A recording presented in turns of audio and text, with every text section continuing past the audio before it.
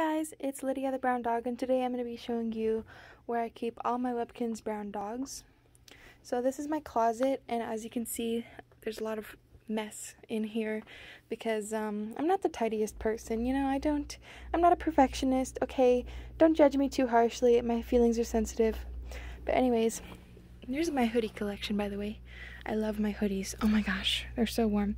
But um, right next to this I have these boxes or shoebox holders, whatever you want to call them. They're where you're supposed to put shoes, but this is where I keep all my Webkinz brown dogs.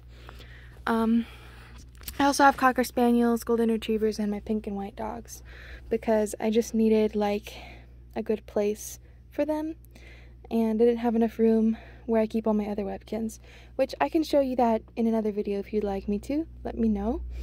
Um, but yeah, so these are where I keep my brown dogs. And um, this is where Lydia sits, if you're wondering why there's an open space.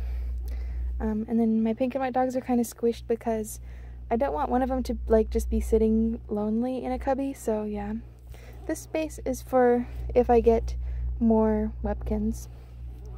But yeah, what do you think of my little spot? I think it looks cozy and very comfy for them because they just have their little their little shelves and they're very like cozy and they're, you know, protected in here. So, yeah. Also, I like to see them whenever I go to bed at night and I can just come over here and be like, good night, brown dogs, and then they won't respond because they're stuffed animals and then I'm just weird. but, yeah. So, let me know where you guys keep your Webkinz brown dogs. Um, or if you have like a collection of any Webkinz, like a specific Webkinz, what is it and where do you keep them? So yeah, um, if you like more videos like mine, then go ahead and subscribe, and you'll get, if you click that subscribe button, something magical will happen. It might give you notifications to all my other videos, but only if you hit the bell for some reason.